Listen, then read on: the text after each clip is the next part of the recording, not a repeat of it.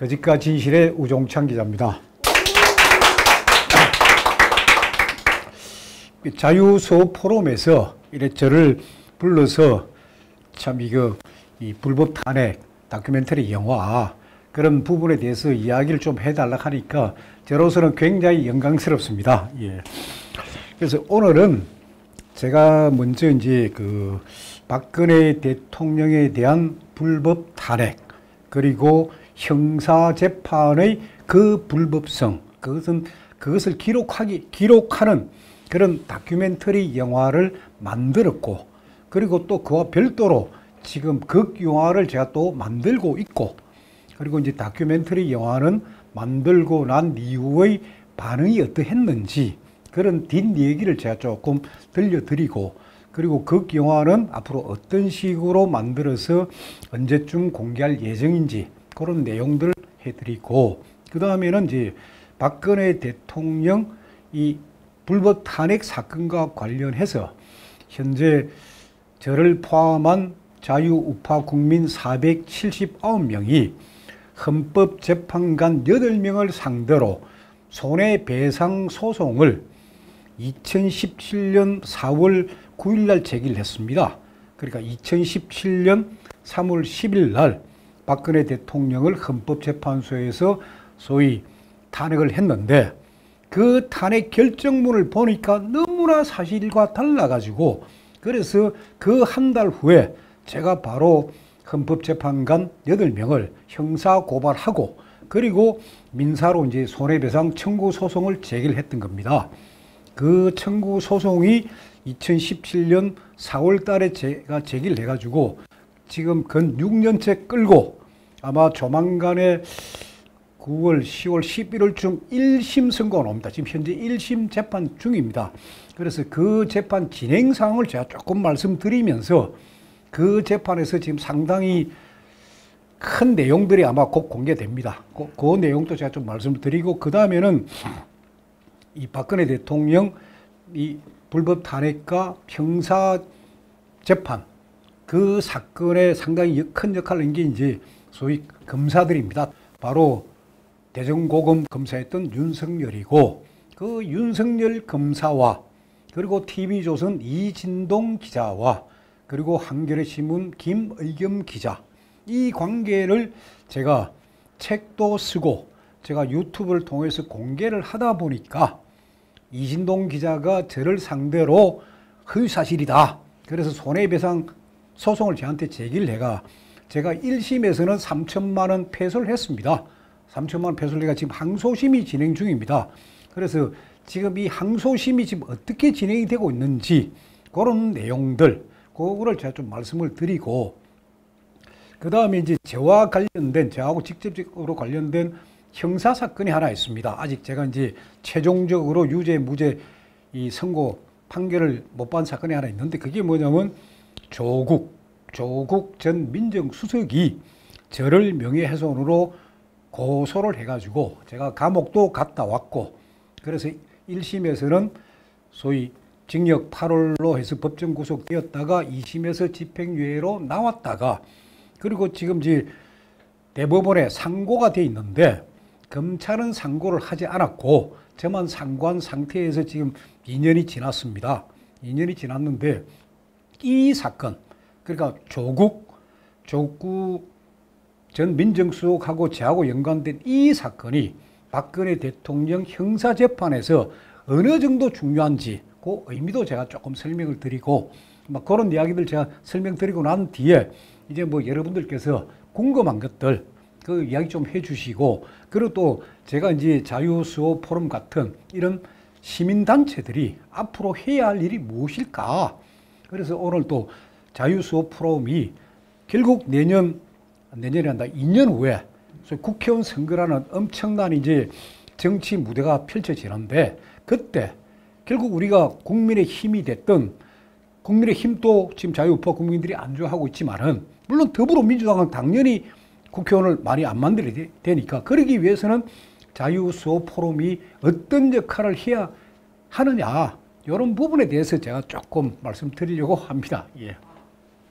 그래서 일단 이제 다큐멘터리 다큐멘터리 영화 그 제작 관련해서 그것부터 좀 말씀드리겠습니다. 이 다큐멘터리 영화는 그러니까 박근혜 대통령의 불법 탄핵 이 다큐멘터리 영화는 기록물입니다. 그렇게 영화 극영화가 아니고 기록물이 되다 보니까 좀 화면들 옛날 자료 화면들 쓰고 뭐 그런 문제가 좀 있는데 이제 그 기록물을 일단 어쨌거나 만들었습니다. 만들었는데 많은 사람들한테 보여야 됩니다. 이거를. 그러니까 지금까지 우리 우파들은 교행계 그냥 유튜브 통해 가지고 그냥 한정된 사람한테만 보여주고 그러니까 우리들만의 잔치식으로 이게 공개가 됐습니다. 그래서 그렇게 하면 안 되니까 일단 영화관에서 개봉하자. 그러니까 다큐멘터리 영화를 영화관에서 개봉하는 것은 거의 없습니다.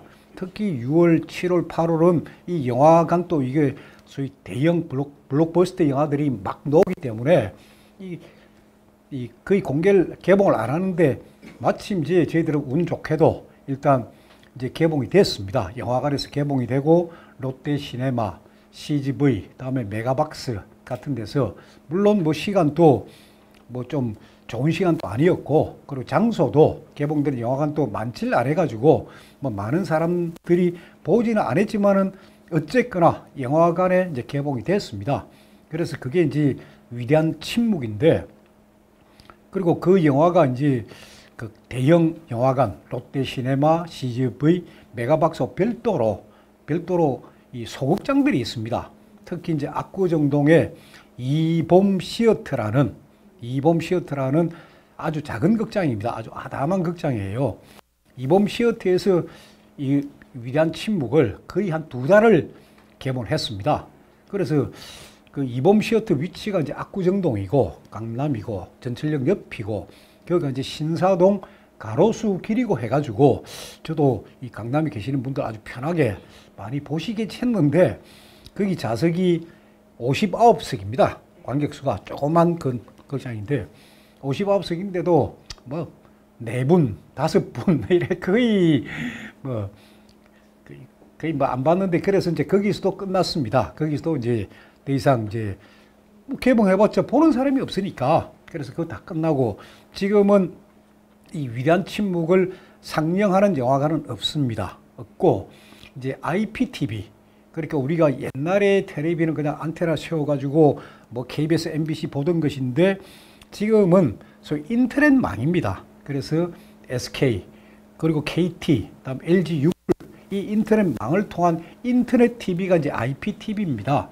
IPTV에서 그건 돈을 줘야 됩니다. 돈을 주면 지금 볼 수 있습니다. 지금 IPTV를 통해서는 지금 개봉이 되어 있습니다.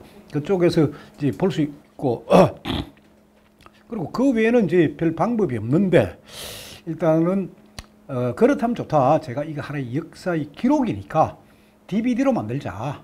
그래서 DVD로 만들면은 만들기 위해서는 일단은 희망적이 있어야 될 거 아닙니까? DVD 필요한 사람들한테 결국 DVD는 돈을 받고 팔아야 됩니다. 그래서 제가 그거를 8월 초부터 이제 제 유튜브를 통해서 알렸습니다. DVD. 그러니까 필요하신 분은 주문을 해달라. 그러면은 제가 이제 주문을 받아가지고 제작을 하겠다. 그래서 그동안에 한 보름 동안 해보니까 별로입니다. 그것도 뭐 별로인데. 그래서 오늘자로, 오늘자로 이제 이 DVD를, DVD가 이제 동그랗지 않습니까? 이 DVD를 하려 하면은 자켓, 네모난 자켓이 있어야 됩니다. 그래서 이 자켓하고 동그란 판하고 그 오늘 그걸 다 만들었습니다. 오늘. 네. 그래서 DVD, 그러니까 이게 위대한 침묵이 너무나 좀 보면 좀 어둡습니다. 어둡다 보니까 조금 밝게 해가지고 요 두 개로 이제 이거 자켓을 만들고 그리고 이제 요거는 그 DVD 붙일 거, 동그란 판에 붙일 거, 그 위대한 침묵. 음, 이렇게 만들어 오늘 요게 이제 최종적으로 제가 와가지고 오케이를 했습니다. 그럼 이렇게 만들어라. 그래서 그래서 요, 요 사진도 어느 뭐 이름 없는 신문사에서 찍은 사진이에요. 이 사진 찾는데도 애를 먹었습니다. 이 뒷모습이 찾는다고. 예, 예. 그래서 DVD를 이제 이거를 지금 다음 주쯤에 대충 이제 이 주문을 받고 있어가지고 다음 주쯤에 마감을 해가지고 하면은 아마 9월 초순경에 완성이 되면은 그럼 이걸 다 원하는 분들한테 그러니까 DVD 하나 값은 2만 5천 원입니다. 이게 하나에 2만 5천 원인데 여기는 그 우리가 저기 유튜브에서 보통 하는 MP4라는 그런 방식이 아니고 아주 고화질입니다. 그 영화관에서 본 정도의 음향하고 그런 효과 다 나오기 때문에 그래서 2만 5천 원 받고 제가 다 배송해 드리고 거기서 남는 돈을 갖고 이제 극영화 지금 극영화를 제작하고 있으니 극영화 제작비로 지금 그렇게 쓸 예정입니다. 그리고 이제 이 위대한 침묵 다큐멘터리 영화에 대해 가지고 일부 해외에서 지금 그 좀 보고 싶다는 연락이 들어옵니다. 그래서 제가 그분들한테 예를 들어 미국에 어느 지역에 영화관을 아는 분이 있으면 그쪽에서 이 영화를 틀겠다 하면 제가 그냥 드리겠다. 어, 그래 가서 그래서 영화를 틀고 영화 수입이 있지 않습니까? 그러면 그쪽에서 얼마를 갖고 하고 남은 돈 얼마나 내한테 주면 되니까 나는 그냥 이거 다 드리겠다고 그래서 지금 한 세 군데 정도 나라에서 지금 연락이 오고 있습니다. 그래서 언제든지 필요하면은 근데 다 보내주겠다고 지금 하고 있는 상태고 그래서 조금 더 널리 알리려고는 하고 있지만은 의외로 지금 안 알려지고 있고 그래서 제가 그럼 왜 그럴까? 왜 이 영화에 관심 이 없을까? 그래서 제일 중요한 데가 이, 이 영화를 한다 하면 제일 중요한 데가 사실 이 경북 지방입니다. 대구, 대구 쪽에. 대구 쪽에 거기서 그래도 박근혜 대통령 지지가 있으니까 왜 그분들이 이 안 볼까? 그것 때문에 제가 사실 한번 내려갔다 왔습니다. 그 가가지고 그쪽에 있는지 박사모, 박근혜 대통령 사랑하는 박사모라는 모임, 그리고 박대모, 박근혜 대통령 존경하는 그런 모임. 거기 이제 이분들 제가 만나가지고, 자, 지금 박근혜 대통령에 대한 분위기 어떻습니까? 그러니까 그분들은 이제 임원들이고 하는 게 다 핵심들인데 그분들 얘기가 지지도가 완전히 땅에 떨어졌다는 거예요. 이미 현재에서 어, 왜 땅에 떨어졌습니까? 딱 하나예요. 놓으시고 난 뒤에 진짜 그 한 5년 동안 그 탄핵 반대 그 태극기를 들었던 국민들을 위해서 아무런 고맙다는 인사 표시도 안 하고 그리고 박근혜 대통령 본인 때문에 감옥에 아직도 가 있는 수감 중인 전직 국정원장들 그리고 참 전직 장관들부터 해가 그런 분들에 대해 가지고 참 어떤 미안한 감정 표시도 안 하고 유일하게 유영아 변호사 뭐 대구시장 우쪽 하니까 거기서부터 완전 이래 된 거예요. 그래 저도 대충 예상을 했는데 아우 현재 가보니까 아주 그게 결정타예요.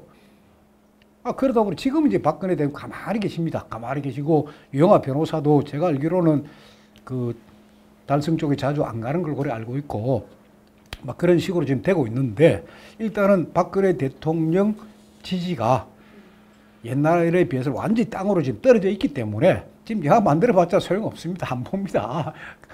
그것도 알고 있고, 예.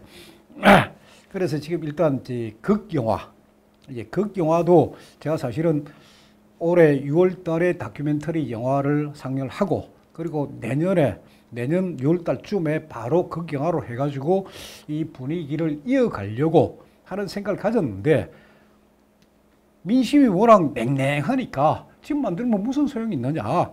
그래서 극영화 제작은 거의 좀 뒤로 미루고 있습니다. 그래서 지금 대본을 지금 한 다섯 번 지금 계속 지금 수정하고 있습니다. 대본을 좀 더 수정하고 그래서 극영화는 일단 배우 네명이 등장합니다. 주인공 네명한 사람은 소위 60대 전직 기자, 그러니까 결국 제 역할을 할 사람. 또 한 사람은 50대 변호사.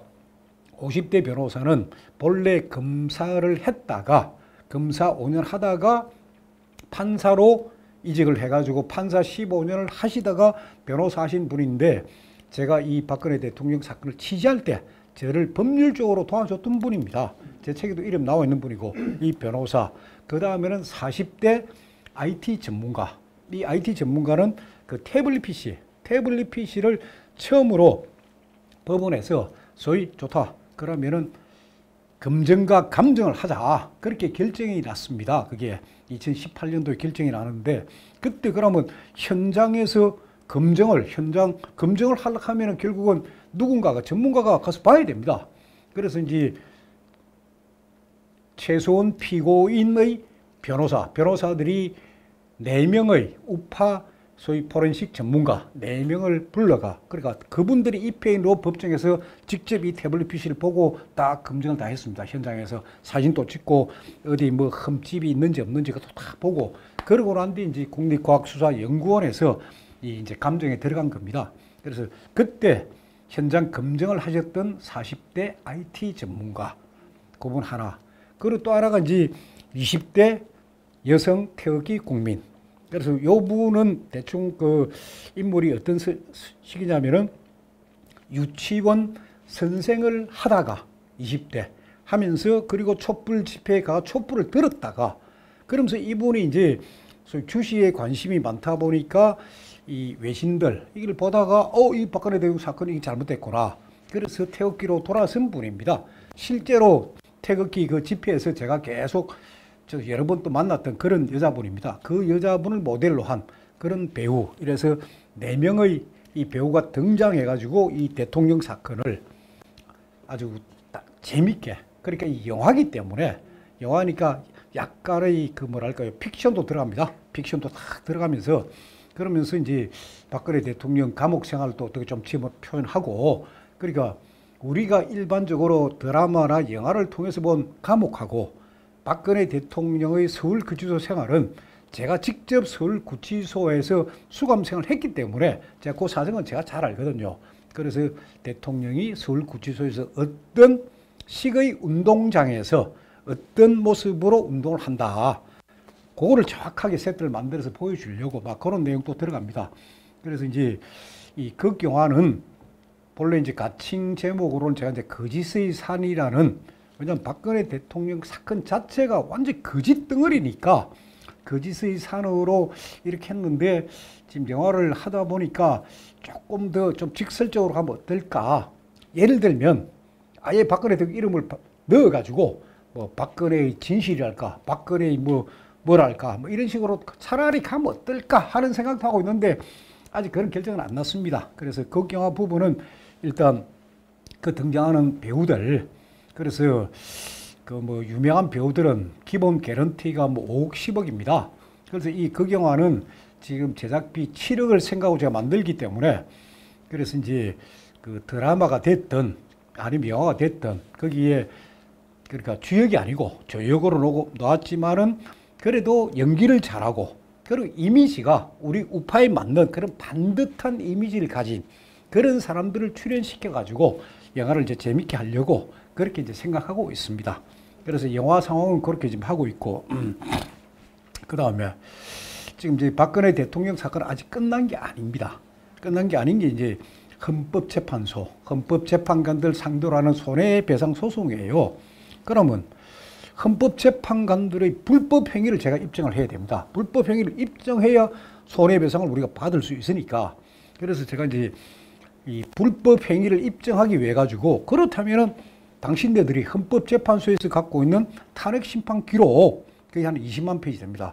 그 기록 다 내놔라. 거기에 누구 헌법재판관들의 불법 행위가 다 기록되어 있으니 그거 내놔라. 그리고 제가 그걸 요구를 했죠. 이 재판부에다가. 그러니까 법원에서도 어 그거는 원고의 주장이 맞다. 헌법재판소는 줘라. 그게 이제 문서 성부 촉탁입니다. 그래 됐는데 헌법재판소에서 못 주겠다. 그 이유가 뭐냐? 여기 이 기록에 등장하는 사람들이 너무 많다. 물론 그게 이제 헌법재판소 법정 정언한 사람들, 그뭐 차은택이니 뭐 이런 사람 쭉 있으니까 그 사람들의 인적 정보가 들어있다. 그래서 못 주겠다. 음, 그래서 제가 법정에서 아, 그렇다면 가려라. 새카맣게 표시하고 주면 될 거 아니냐. 그리고 재판부에서도 그 말 맞다. 가려서 줘라. 그것도 못 주겠대요. 헌법재판소가. 그래서 그거로 한 1년을 시비를 하다가 결국 이제 아직 1심입니다. 아직 6년째 1심을 하고 있는데 1심 재판장이 아유 그렇다면 원고 좀 양보를 하세요. 양보하고 이거 없이 하자. 이거 헌법재판소 탄핵 심판 기록 없이 그냥 이 재판 끝내자. 6년을 끌었지 않느냐. 그래서 제가 마지막으로 7월달 재판에서 그렇다면 딱 두 개만 줘라 서류 다 필요 없다 내가 그 20만 다 필요 딱 두 개만 내놔라. 그게 뭐냐면은 탄핵 결정문 앞부분에 보면 이 어떤 식으로 탄핵 심판했다 하는 내용을 써놨습니다. 헌법재판관들이. 그 보면 국회가 국회가 2016년 12월 9일 날 탄핵 소추안을 통과시켰다. 그게 헌법재판소에 접수가 되었다. 그럼 거기에 보면은 헌법 위반 4개, 법률 위반 5개 해가지고 박근혜 대통령을 탄핵한다. 하는 게 이제 국회 통과된 거예요. 물론 처음부터 그 가짜 뉴스지만 딱 그거예요. 그래 그걸 접수를 받고 난 뒤에 헌법재판관들은 변론기일에서 이 재판을 하는 과정에서 아, 이 너무 복잡하니까 다섯 개의 유형으로 정리했다. 그래서 수정했는 걸 제가 정리했다 이게. 그러니까 국회에서 통과된 탄핵 소추안이 있고 헌법재판관 이 사람들이 저거 임의로 만든 다섯 개 유형의 탄핵 내용이 있고 그 다음에 변론길에 다시 이걸 네 개로 정리했다 해요. 이 다섯 개를 다시 네 개로. 그럼 우리 국민들이 아는 거는 요 다섯 개 정리한 걸 대충 알아요. 아, 뭐, 국민의 뭐 생명 보호자고 뭐 하는 게쭉 있으니까 그건 지금 보도돼. 아니, 안 돼. 네 개로 정리한 거 우리는 모르잖아요. 뭐로 정리했는지. 아니, 현직 대통령을 탄핵하려면 탄핵할 사유서가 있어야 될 거 아닙니까? 재판을 할 때도 자 범죄 혐의 그게 공소장입니다. 범죄 혐의 내놓고 자 이게 했는 맞냐? 틀리냐? 증거 뭐냐? 이렇게 해야 되는데 그러면 대통령 탄핵하려면 당연히 탄핵 소추 사유서가 있어야 되는데 이게 처음에 국회를 통과한 거. 그다음 헌법재판관들 제가 임의로 정리한 다섯 개의 유형. 그리고 다시 이걸 네 개로 정리한 거. 여기 결정문에 나와 있어요. 그래서 그거 내놔라 제가. 그거. 다른 거 필요 없다. 대통령이 탄핵된 이 사유를 알아야 될 거 아니야. 그건 내놔라. 거의 재판장도 어 그거는 맞다. 그래서 7월 19일까지 우종차이한테 줘라 이걸 그렇게 법정에서 결정이 됐어요. 아, 근데 지금 지금도 안 내놓고 있어요. 헌법재판소가. 아니 그래서 이제 독촉을 하다 보니 그쪽 이야기 뭐냐니까 아무리 기록 찾아도 그게 없다 이야. 아니 대통령 현직 대 탄핵을 했으면 탄핵 소추 사유가 있어야 될 거 아닙니까? 그래 저가 아니 이거 못 준다는 거고 우리가 줄 수 없다는 거고 아무리 뒤지도 서류를 다 뒤지도 없다는 거 아니에요. 아 그래서 지금 재판이 그런 식으로 되고 있어가지고 그 지난주에 이제 법원 휴가고 뭐 이래가 하는데 요번 주까지 그럼 좋다. 헌법재판소 너 답변 한번 보자. 답변. 그러니까 일단 이제 우리 구두로만 확인했는데 이거 말고 답변 나올 거 아닙니까? 자 원고 측에서 오종차이가 요구한 그 소위 탄핵 결정, 탄핵 심판 내용 그 부분은 아무리 찾아도 서류가 없습니다. 그렇게 써내라 내가 그럼 될 거 아닙니까? 그래 해야 제가 이제 피고들 불법 행위를 할 수 있으니까 지금 그렇게 지금 재판이 진행되고 있습니다. 아 그러니까 보세요. 현직 대통령을 탄핵을 시켰는데 탄핵 증거가 있어야 될 거 아닙니까? 지금 탄핵 증거 없인 거, 그 지금 헌법재판소도 깜짝 놀란 거죠, 자기네들. 그게 없어요. 아니, 공소장이 없이 재판하는 게 어디 있습니까? 그냥 국민 여론, 그리고 탄핵 결정문 내용 보세요. 사실관계가 아니고, 하, 좀, 저, 저, 뭡니까? JTBC에서, JTBC에서 뭐 소위 최소원이가 대통령 연설문을 사정에 사전에 고쳤다는 보도를 했다. 이런 게 탄핵 결정문 내용이에요. 그래서 일단 그런 재판이 진행되고 있으니까 그거는 또 제가 계속해서 이제 알려드리고 그래서 이런 내용들을 우리가 그러니까 단순하게 이게 불법 탄핵이다 사기 탄핵이 아니고 근거도 없이 그래 증거는 떠나서 근거도 없이 했다는 거 고, 그게 지금 조만간에 제가 계속하고 있는데 결국 뭐 언론에서 보도를 해주면 좋고 안 보, 보도 안 해주면 제 유튜브에서 이야기를 해야 될 것이고. 자 그 다음에 이제 소송이 진행된 게 아까 말씀드린 자 대통령 이 형사재판 과정에서 그런 기록들. 아 근데 우리가 그때 주장한 게 야 이건 완전 언론의 기획 취재 그리고 검찰이 기획 수사를 했다. 계속 주장을 해왔고 거기에 기획 취재 핵심이 이제 TV조선 이진동 그리고 김 한겨레 신문의 김의겸이고 기획 수사는 바로 특검 수사 팀장 윤석열이다. 하는 걸 제가 주장해 왔습니다. 그랬던 말인지 이진동 기자가 저를 상대로 그 명예훼손이다. 자기 명예를 훼손했다.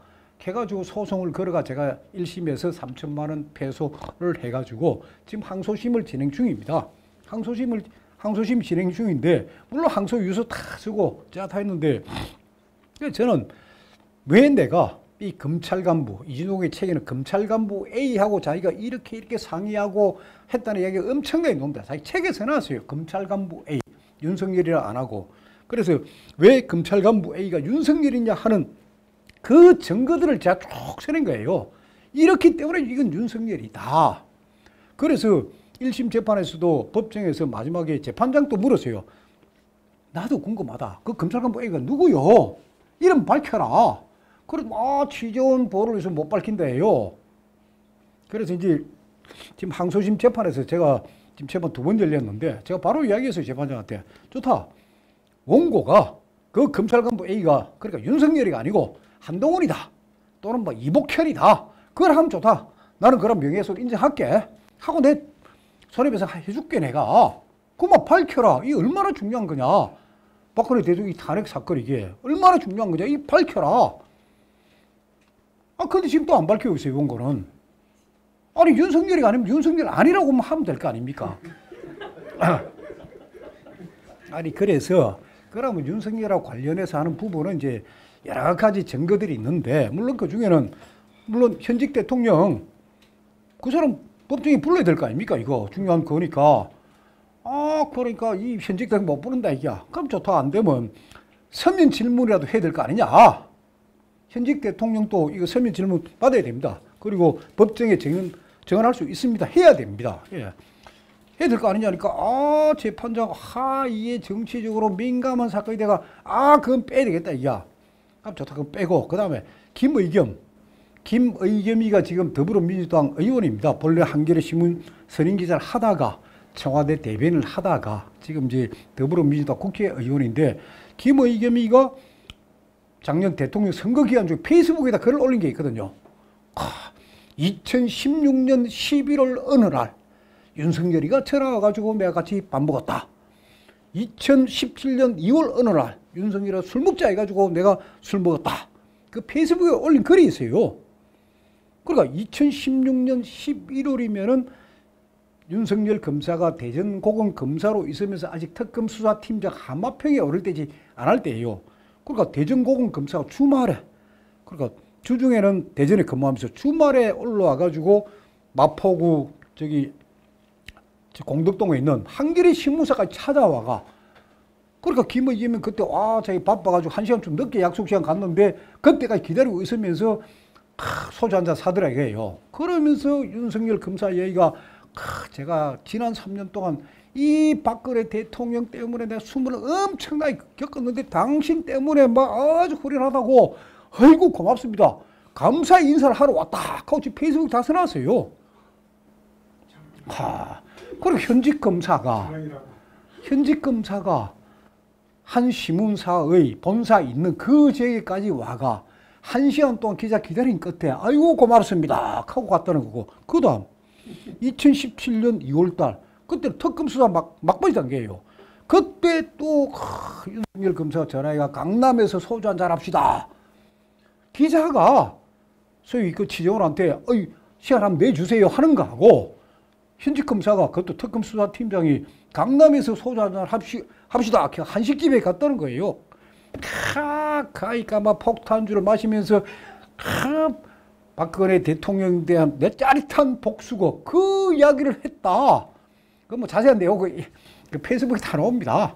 그래서 와, 참 윤석열 그 들으면서 술을 엄청나게 마셨는데 술 마시고 난 뒤에 내가 2박 3일 동안 출근을 못했다. 그 정도로 많이 먹었다. 그래서 나왔어요.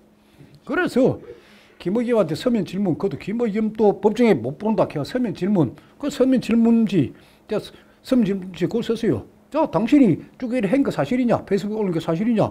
그리고 뭐, 박근혜 대통령에 대한 짜릿한 복수곡하고 막 이런 게 있는데, 그 에피소드 좀 있으면 좀 들려줘라. 좀 소개해줘라. 하는 걸로 쭉 해가 했는데, 이제 판장은 질문은 다섯 개 넘지 말고. 아, 그래서 일단 제가 그래 질문 한 13개 해가지고 일단 법으로 제출해 놨습니다. 그래서 김의겸은 못 부르지만 일단, 그리고 김의겸이 가고 한 거, 그리고 김의겸하고 이진동이가 2016년 9월 2일 날 종로에 있는 르메, 르메이르 빌딩 지하에 있는 음식점에서 둘이서 만나가 소주 아홉 병 마신 거. 그러면서 대한민국 욕한 거그 책이 다 나오니까 그거 그때 이런 이런 이야기 했느냐? 사실관계 확인 말입니다. 그럼 결국 아 이진동, 김의겸 그리고 윤석열. 야 이 탄핵 전국대 가까웠구나. 그걸 제가 입증해 주면 되니까요. 일단 이제 고려해가지고 그 서면 질문지는 제가 법으로 제출해놨습니다. 해놨고 그 다음에 이제 전혁수라고 이 뉴스버스 뉴스버스라는 인터넷 매체 기자입니다. 그러면은 이진동 기자가 TV조선 사회부장을 하다가 결국 TV조선 내부의 미투 사건 때문에 이제 파면이 됐습니다. 그래서 나와가지고 인터넷 매체를 만들었어요. 뉴스버스라고. 그걸 만들었는데 인터넷 매체 만들고 한 달 후에 특종을 합니다.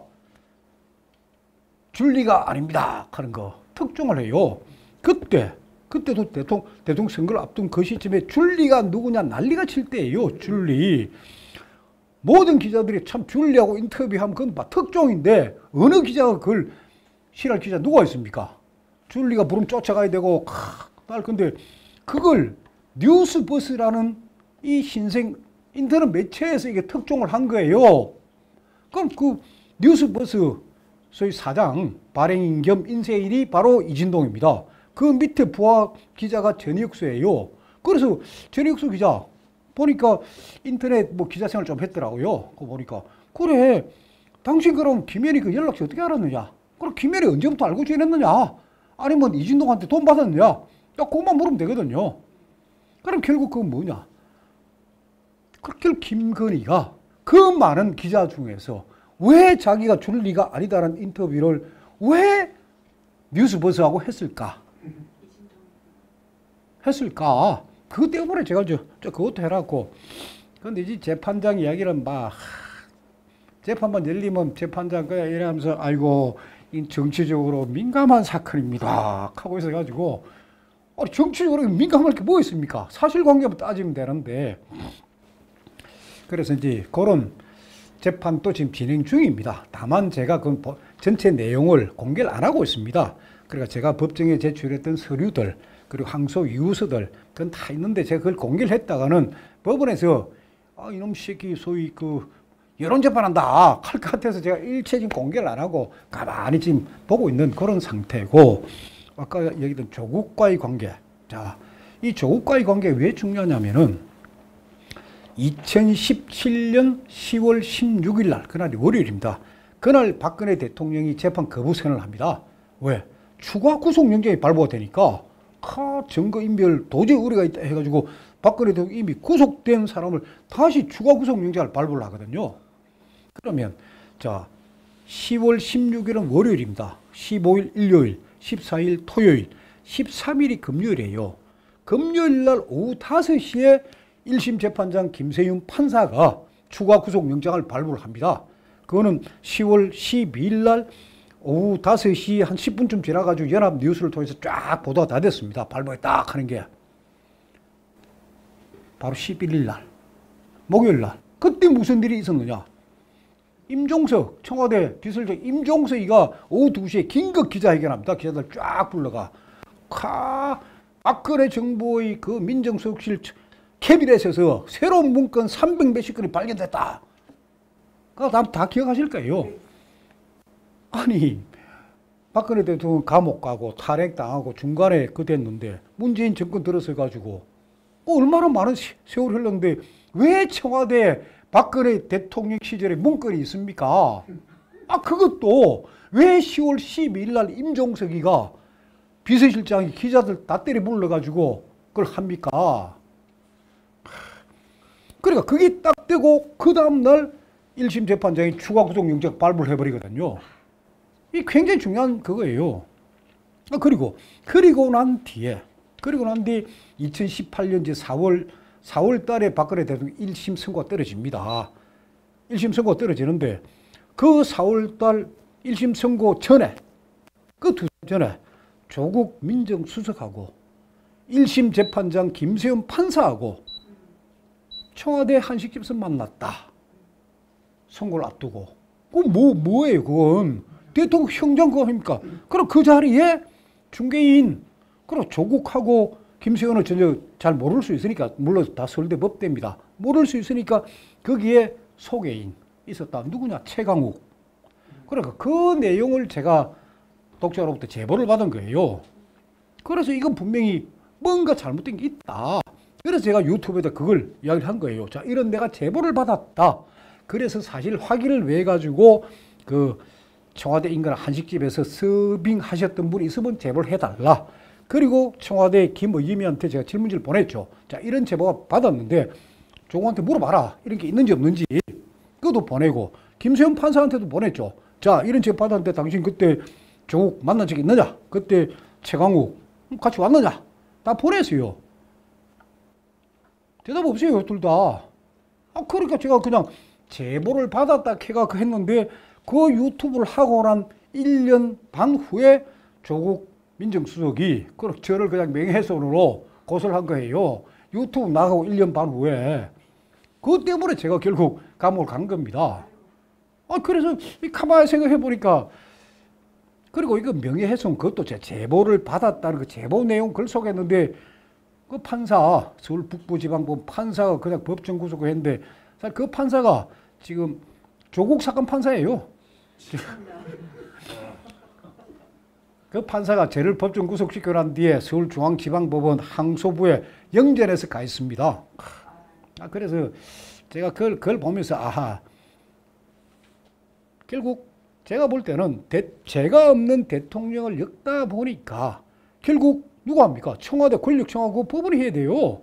그리고 이 이상한 움직임 그거를 대단한 유튜브 하는 일마가 이걸 보도를 하니까 이거 입막아야 되겠다. 그런 거 아니겠느냐 싶기도 하고 아직은 저도 모르고 제가 그때 검찰하고 경찰하다 이야기를 했습니다. 나도 제보를 받아서 실제는 모른다. 그래서 방법은 방법이 있다. 뭐냐? 일단 청와대 앞에 한식집은 두 군데밖에 없습니다. 다른데 그 앞에 있는 CCTV 보자. 내가 지금 시점까지 하지 않았냐? 2018년 1월에서 1월 1월에서 2월 초 사이다. 시점도 이야기했고 그 위치도 이야기했으니까 CCTV 그 보자.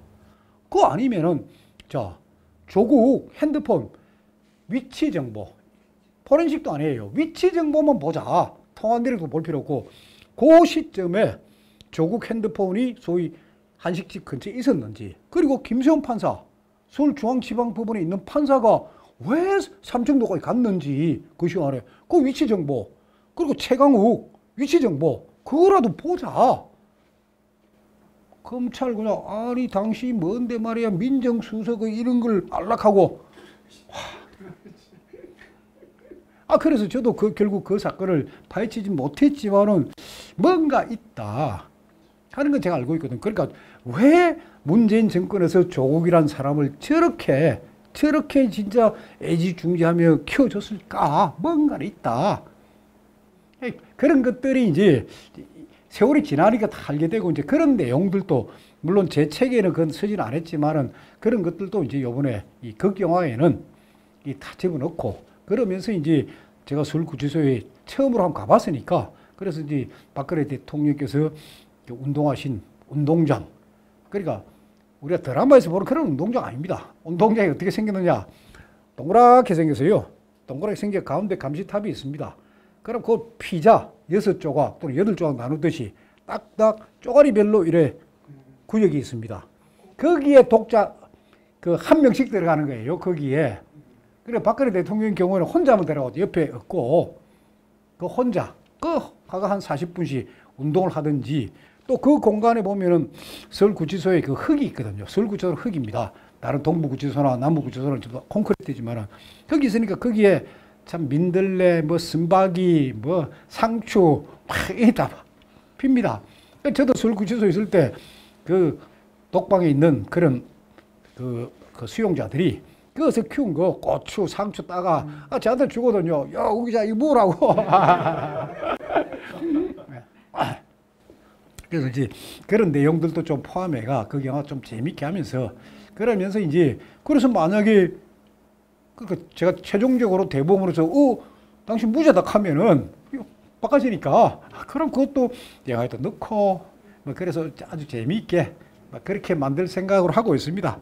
그래서 지금 대통령 사건 아직 끝난 것도 아니고 지금 계속 진행 중입니다. 계속 진행 중에 있으니까 그러니까 저도 어, 하나씩 새로운 게 하나씩 나올 때마다 국민들한테 알려드리고 그리고 이제 앞으로 이제 시간 좀 나는 대로 제가 이제 한국 현대사에 잘못 알려진 사건들 그 사건들을 이제 제 유튜브를 통해서 소개하는 그런 그 프로를 같이 하면서 조금 저 9월 달부터 이제 유튜브를 한번 본격적으로 한번 해보자 하는 생각을 갖고 있습니다.